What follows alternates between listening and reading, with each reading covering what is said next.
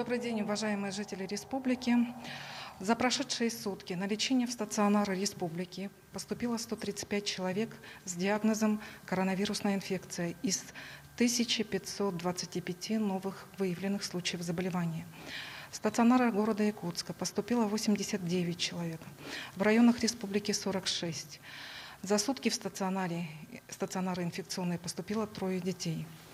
На сегодняшний день в стационарах республики в тяжелом состоянии находится 53 пациента. В отделении реанимации врачи борются за жизнь 13 крайне тяжелых больных. Все они, к сожалению, были не вакцинированы. Всем пациентам оказывается соответствующая медицинская помощь в соответствии с методическими рекомендациями Российской Федерации. Несмотря на увеличение количества вновь выявленных случаев заболевания, скорость распространения инфекции, данный штамм распространяется в 7 раз быстрее, чем предыдущий, у большинства заболевших регистрируется легкое течение заболевания.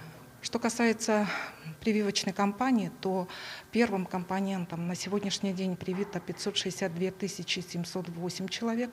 Это 78,5% взрослого населения республики. Ревакцинацию прошли 118 тысяч 98 человек. Это 58% от количества лиц, у которых наступил срок ревакцинации. Уважаемые жители республики, напоминаю о необходимости срочной ревакцинации и вакцинации. Хочется сказать о той ситуации, которая сложилась на сегодняшний день а, в городе Якутске.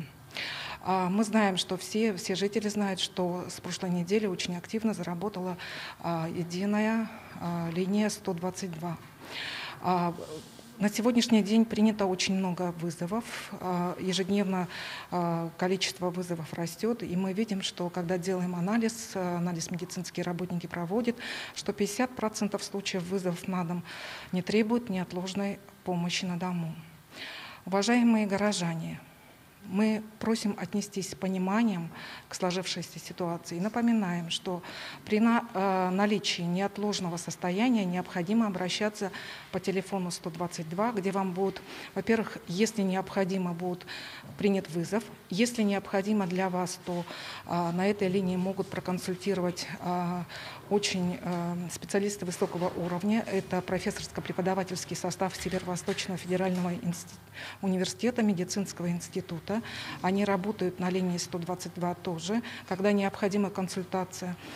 А, при легкой степени течения ОРВИ обращайтесь, пожалуйста, в поликлинике по месту прикрепления. При этом хочется напомнить, что э, кабинеты э, для лиц, у которых есть признаки ОРВИ, то есть это температура меньше 38, э, может быть явление першения в горле. Да? Вот этим лицам, а, значит, людям необходимо а, обращаться в эти кабинеты. При этом хочу сказать о том, что кабинеты а, работает с 8 утра до 20.00 вечера.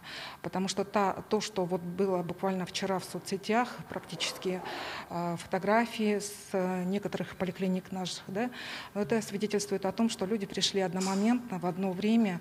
И, конечно же, вот э, наши медицинские работники буквально в 20 минут все это сделали для того, чтобы не было таких очередей. Но хочу еще раз напомнить о режиме работы данных кабинетов с 8 утра до 20.00. 0. Что касается вызова врача на дом, то показанием для вызова врача на дом является повышенная температура выше 38, общая слабость, кашель, мышечные боли, затрудненное дыхание, одышка, явление интоксикации. До приезда врача, пожалуйста, если есть такие симптомы, пожалуйста, изолируйтесь в отдельную комнату и рекомендуется обильное теплое питье. Показания для самостоятельного обращения в кабинет неотложной помощи поликлиник – это взрослые моложе 60 лет с признаками ОРВИ, ОРВИ а, повышенное, повышение температуры не выше 38 градусов. Для детей старше 3 лет это признаки ОРВИ и повышение температуры тела не выше 38 градусов. Что касается оформления листка нетрудоспособности, то а, больничные листы а, оформляются в электронном виде, то есть а, дистанционно, но при этом со дня обращения в поликлинику.